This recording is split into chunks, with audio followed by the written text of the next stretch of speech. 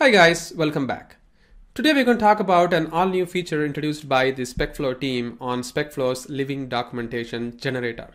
So the SpecFlow living documentation is not a new concept by SpecFlow because SpecFlow already has this living documentation available in the Azure DevOps uh, integration. So if you have SpecFlow Plus plugin already available or purchased, then you can use the SpecFlow Plus along with Azure DevOps and then you can use it. But those things are already there in Azure DevOps side.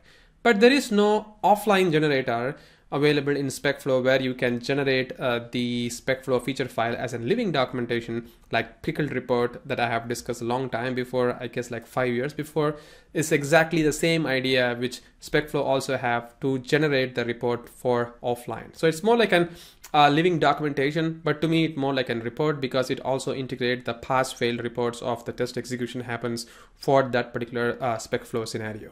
So this is now available with the uh, SpecFlow's new offline generator as you can see over here. This is just introduced on 25th August, which is like uh, yesterday. And it is pretty new, brand new, and it is available so we can try it out and see how it actually works. And the one which I was talking about, the living documentation available in Azure is this one, as you can see over here. It is something that you can plug in with the Azure DevOps. You need to actually acquire the licensing of SpecFlow Plus, even though SpecFlow Plus is right now like free after acquired by the Tricentis company. Everything is going free with SpecFlow, like SpecFlow Plus is free, the living documentation is free, even the living documentation generator is now free. So all of them are available actually as a free version right now and you can see at the moment they actually have all these uh, generation of the Azure DevOps side of things as an offline generation using this particular SpecFlow Plus Living Doc Generator plugin. It is very, very simple to work with. All you have to do is you just need to install this SpecFlow Plus uh, Living Doc plugin, and then you need to use this SpecFlow Living Doc uh, CLI command to just execute and see how it is gonna uh, generate all those uh, things for you. It's very, very straightforward and simple, and we will see in a demo quickly like how it has to be used along with the existing SpecFlow code. We'll also see how we can actually uh, mix and match both the extent reporting and the SpecFlow documentation and we'll see how it, they are both different and how they actually varies in terms of uh, the features because we know that extent reporting is very very uh, powerful. It actually has exactly the same BDD concept as well. But it not only generates the report it also generates a cool dashboard for us like how many tests it has executed what is the pass and fail rates and how many uh, time it took for executing everything.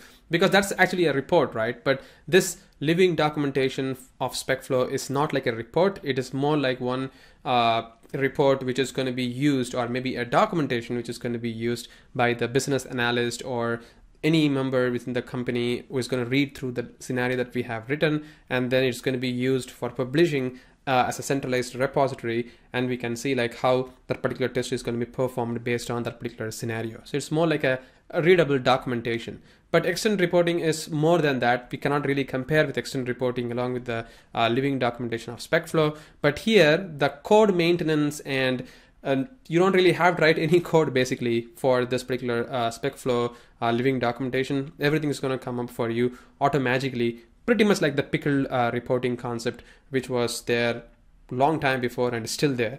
But yeah this reporting is really really cool. And you can see why it is really cool based on the new feature it has introduced. Especially the tables which is available in specflow is really really cool. You can actually see what i really mean. So for that i'm going to quickly show you a demo in my visual studio 2019 and we'll see how it actually works. So as you can see over here in the screen uh, this is the installation process. It's very, very straightforward and simple. All you have to have is a Visual Studios uh, project, and then you need to install the SpecFlow plus Living Documentation plugin. And once it is installed, you can start running your code pretty straightforward.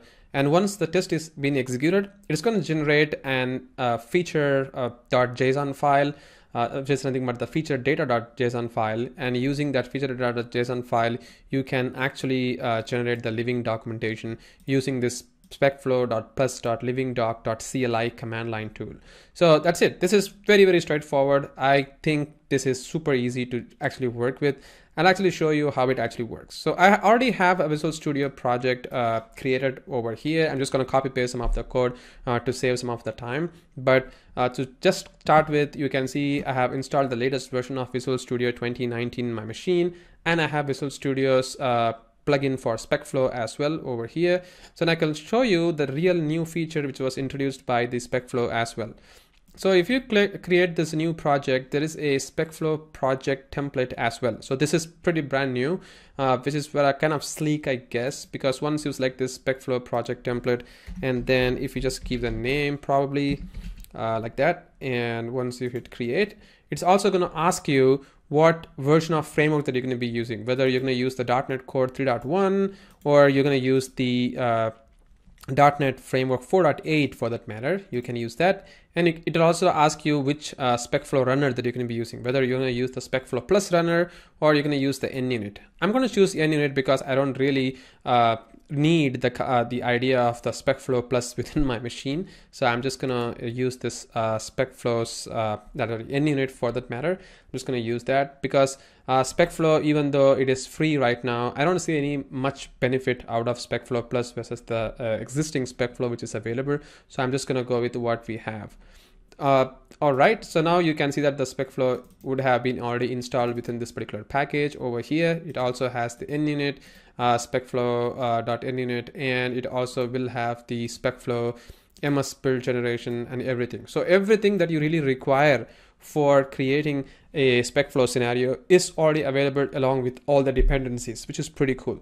So once everything is there in place, I'm to start creating a new feature file. And once again, within this particular template, you can see that it has automatically created a feature file, like a folder structure, uh, steps folder, and also the step definitions file. So these are the good practices. I guess we have already discussed about it a lot. Like these are the best practices that we need to follow while working with the BDD spec flow scenarios and the team has come up with a very good scaffolding of the coding for us, which is pretty cool. Uh, so I'm just gonna do one small thing over here. Other than the existing packages, we also need to install the new SpecFlow's living documentation uh, plugin. So I guess once you hit this SpecFlow Plus, uh, you'll get the SpecFlow uh, Plus Living Doc plugin. So I'm just gonna install that. And it tells me that there is a version conflict over here. Uh, I guess the version of uh, SpecFlow which we have uh, over here is pretty old. Let's see what version we have 3.3.57. Let's go and update the SpecFlow. Oh yeah, see that it's pretty old version anyways. So I'm just gonna update that to the latest version. So it seems like even uh, the uh, template of SpecFlow has to be updated with the latest version of SpecFlow. That's the reason we're getting this error. So I guess we're pretty new right now in terms of the versions. So if I go SpecFlow Plus, uh, Living Doc plugin and hit install, hopefully it installed this time.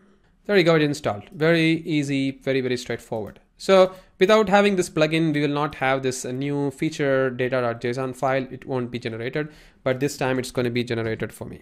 So I have already written the uh, feature file just for saving some time and I'm going to show you how it actually going to work as well. So uh, the implementation of this particular uh, step definition file is, I think I have written that as well. I'm just gonna copy paste that over here. There you go. I guess everything is bounded, the feature files. Uh, and then I'm gonna do one more small change over here. I'm just gonna create a, a hooks file which is to hold the uh, extent report uh, codes as well. So I also need to create an or maybe add an package for the extent report, which is also right now .NET Core compatible. We already know about that. We have already discussed about it a lot. I'm just to install that as well. I'll just show you a side-by-side -side comparison of how these two reports going to look like as well. I mean, extent report is a report whereas this is a living documentation but still the whole idea of extent report is to use it both like an, a report as well as like a living documentation. That's exactly what the specflows plugin is also doing right now. All right it's installed. I'm gonna go to the test hook. Once again i'm just gonna copy paste all the codes uh, which is gonna be uh, living over here. Just gonna paste that. Pretty cool uh, let's add the uh, dependencies.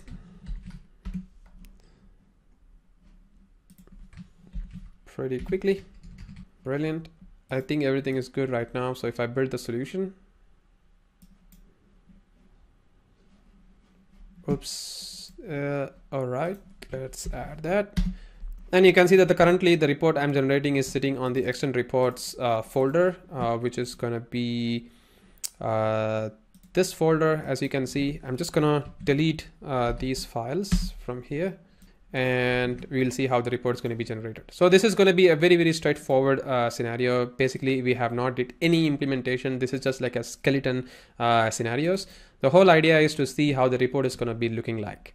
And now if I try to execute this, you can see that this is basically going to generate a report for us, uh, which is nothing but the extent reporting. At the same time, it's going to generate an uh, feature a data.json file. So now you can see that one test is failed, which is intentional. I just made it fail over here. As you can see, Assert.Fail, but uh, the another one which just got passed. I just want to show you how the report is going to look like. The living documentation is going to look like as well as the extent reporting. So if I go to the project's uh, bin directory, and if I go to the bin debug netcore, you can see that we have this feature data.json file. So this JSON file is generated just now uh, after we install this particular living documentation plugin. And using this particular JSON file, we can actually generate the living documentation of SpecFlow itself. So if you go to this particular uh, link, you can see on the documentation, they have mentioned that you need to use this particular command basically. So .NET tool install this SpecFlow living.cli and once it is installed, you can then run the uh, feature data.json file from the path it is mentioned. So I'm just going to copy this particular path. And if I go to the uh, PowerShell, I have already installed this particular tool. So I can just do this uh, living, I guess it's living document, living doc and living doc of this particular uh, feature data.json file. If I just execute, it is going to generate the living doc as well on the extent report folder. So if I go to this folder, you can see that we now have this living.html file. It is generated just now using this command line. And we also have an index.html file, which is nothing but the extend reporting basically. So we'll see first the uh, living.html file. Uh, you can see that this is the file which is being generated by the SpecFlow's new Living Doc plugin. So this is pretty, pretty cool. As you can see over here, it actually has a very detailed uh, table structure and also shows the scenarios and also shows all the table structure details for you. This is one of the most interesting thing which I really like to see on this particular uh, SpecFlow's living documentation plugin. But if you see the extent reporting, the table structure will not come actually. So if you see over here, it actually doesn't really show you the table. It also don't show you the uh, background separately. So if you have a background, you can see that the background is actually mixed along with that particular scenario like that. So basically these three lines are from the backgrounds of the uh, scenario and these three lines are basically the scenario itself, but all of them are merged into one particular scenario. I mean, it makes sense. I mean, we know that these are the three lines just going to be common for all the scenarios. It is somehow merged into uh, into this particular uh, uh, extent reporting scenarios. But over here, it tells you clearly that this is the background, uh, this is the scenario with the tag name, and this is another scenario with the tag name, and also shows you the report with the table structure over here. There is no such table at least for the free version. So if you buy a premium version of the extent reporting you actually have these uh, table structures as well. And you also have many different things like uh, within this extent reporting you can go and see the dashboard. It shows you the time it takes to execute this particular scenarios. And also you can save this report on an uh, mongodb using the Klov reporter. Which is like an historical reporter. You can do that. So Klov reporter extent reporting html reporter email reporters. There are many features in extend report which is available. But it's it's more like a report right but this uh, living documentation is something it's more like a plugin for you to see how this report is going to look like and how you can leverage the power of the living documentation to share within the team and how you can make them use it to see what your scenario is going to look like. And most importantly this living documentation helps you to integrate within the Azure DevOps pipeline so you can see how the execution of the scenario has happened. And if there is any failure in a particular scenario you can see why it has got failed over this living documentation itself which is pretty pretty cool So that's it guys. This is the new feature of SpecFlow's new living document generator, uh, which is available offline. We can generate it right now. We don't really have to have an Azure licensing and SpecFlow Plus integrated along with it. We can use it with the SpecFlow itself. Very cool. Please go and uh, give a shot and see how it actually works for you. So once again, thank you very much for watching this video and have a great day. Meet you in our next video.